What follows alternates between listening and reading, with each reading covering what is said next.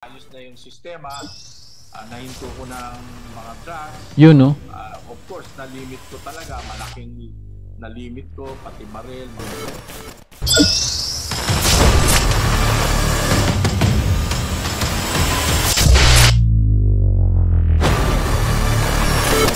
Mga kabanat, isi-share ko lang itong interview ni Katapang kay Pinky Wave sa CNN Philippines. So mga kabanat, ang ang Bilibid ay parang medyo masasabi ko mga kabanat, medyo nakakatuwa din naman itong si Katapang dahil uh, ginagawa niya naman yung paraan diyan no sa Bilibid para mat, uh, gumanda itong uh, gumanda itong bilibid at mawala na yung mga salot sa bilibid. Pero, eh, inamin niya na nawala na daw yung droga, no? At least daw ay nawawala na.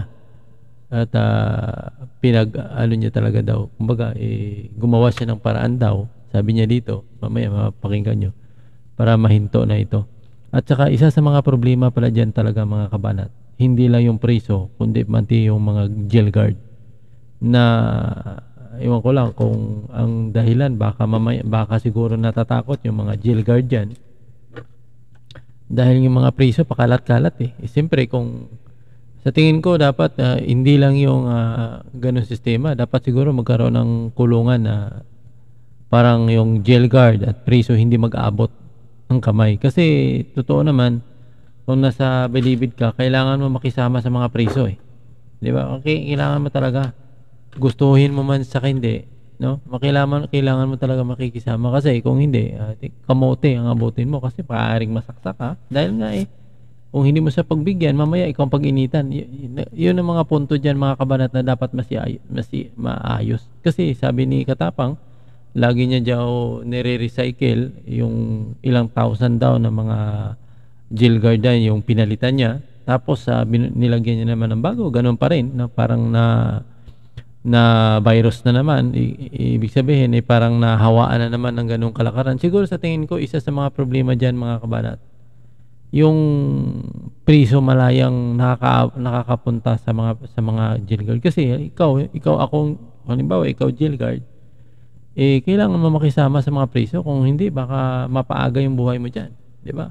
kung higpitan mo yung jail guard, eh maghihigpit ang jail guard, baka siya yung pag-initan. Yan ang mga isang So panoorin mo ito mga kabanat, panoorin nyo. Parang sabi natin medyo, iwan ko lang kung sang ayon kayo dito sa mga sinasabi ni, ni Katapang o hanga ba kayo sa mga sinasabi niyo. So panoorin natin itong maiksing video mga kabanat.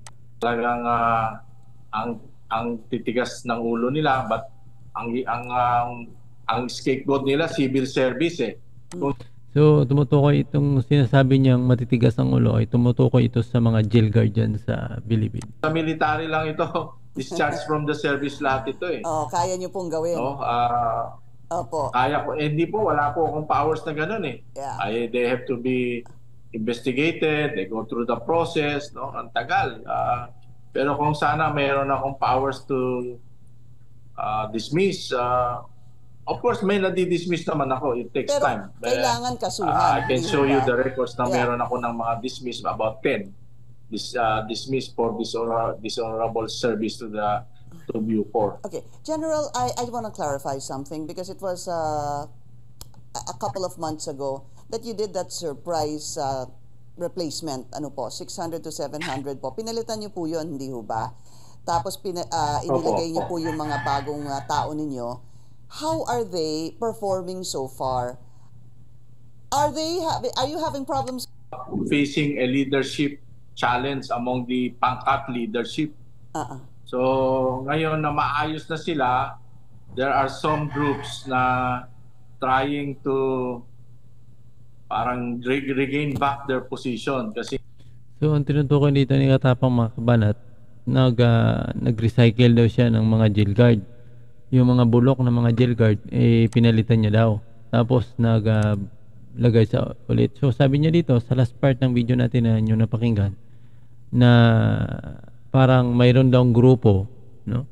Na gustong i manipulate ulit o di kaya eh, sisirain ulit yung mga katinuan ng jail guard para gumulo. Isa daw sa mga layunin para mapalitan daw siya, no? Para mapalitan din siya. So, hindi kaya yun din nangyayari dati kay, Bantag, no? Na mayroong isang grupo diyan sa loob na naninira para mapalitan din siya. So, so siguro ngayon si, Kata, ah, si Katapang alam niya na alam niya na yung kalakaran diyan. So, kung ang problema pala yung mga grupo diyan sana sa loob, eh dapat pag-isipan niya na kung saan niya ilalagay yung mga malalaking grupo diyan sa loob, yung mga he- head ng mga drug lord diyan. So, tuloy natin. Ito pa ang isang ah, iwan ko lang kung saan ayon kayo dito. O di kaya nag ah, parang nag ito yung mga achievement niya sa maiksing panahon daw. Paayos na yung sistema, ah, nahinto ko ng mga drugs, ano? Ah, of course, na-limit ko talaga, malaking na-limit ko, pati baril, mga gano'n, na pa-surrender. Ah, but ah, there are still groups na yan, yung mga PDL naman na hindi ko pwedeng daanin sa dahas kasi it's useless ha kung ah, dadaanin si dahas. Pero ngayon, naglipat ako ng mga drug lords, dr- uh, drug, yung mga leaders talaga. Ito yung nasakta na ang tingin ko ito yung nag-orchestrate ng gulo dito sa loob Okay. ng uh, Bucor. General, Because hold So hanggang dyan na lang mga kabanat yung video natin. Baka makapirights tayo.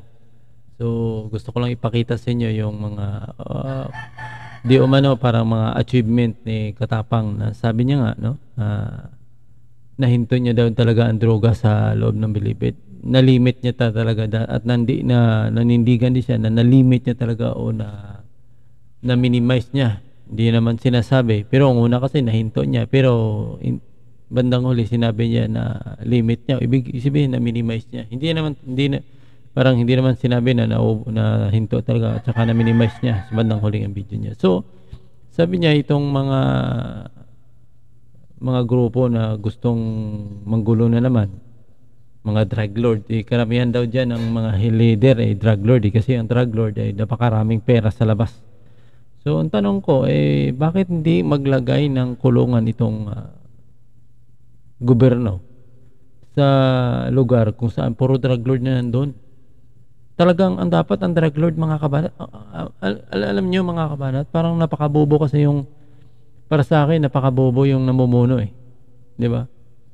Kasi alam mo na alam niyo na alam mo na kung sino yung tao diyan na mahilig mag ah, mang virus hindi ika nga mari, mahirap ma- mahilig mang gina, yung ah, kaayusan diyan eh bakit nandiyan pa rin iba ilipat mo siya halimbawa sabi niya nilipat niya daw yung ibang mga drug lord pero doon rin naman sa lugar na yun try mo lipat sa lugar na yan na sila lang. At saka ang pagkakulong nila, hindi yung palaboy-laboy.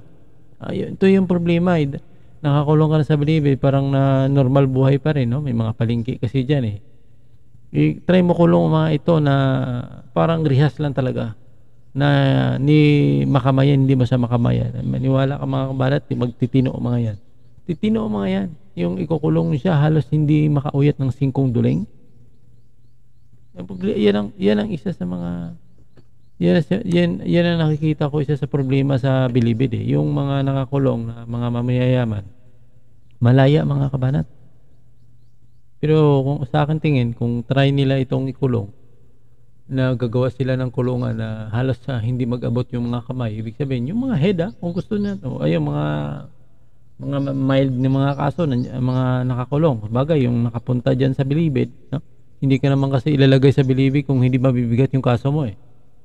Eh, karamihan naman talaga nalalagay dyan sa Bilibid, mabibigat yung kaso. Pero yung mga drug lord talaga, ng mga mayayaman, kasi sila yung nagko-control dyan sa loob eh, kasi napakaraming pera. I-try mo nga hindi maka-access ng anumang mga bagay. Ma mahihinto yan. Hindi, ilan lang naman siguro. Halimbawa, gagawa ko yun ng kulungan, o di kaya kahit dyan na lang sa Bilibid. Kahit na siguro, no? Dapat i-separate talaga dyan sa, sa Bilibid dapat. Halimbawa, gagawa kayo sa Palawan, gagawa kayo sa Mindanao, gagawa kayo sa Rigros. Yung mga kulungan na maaring sa gitna ng ano para walang makakapunta. Titino yung mga yan, mga kabat. Kasi ang mga yan, mga sila yung sumisira dyan sa katahimikan. Kumbaga hindi yung iba dyan. Gusto magbagong buhay. Hindi na lang napakabagbagong buhay. Dahil yung buhay nila sa labas at sa loob ah, same lang naman. Ba maka malaya din naman sila makakapagalaw so yun lang muna mga kabanat. Maraming salamat. At anong tanong ko ano masasabi nyo dito sa mga sinasabi ni Katapang mga kabanat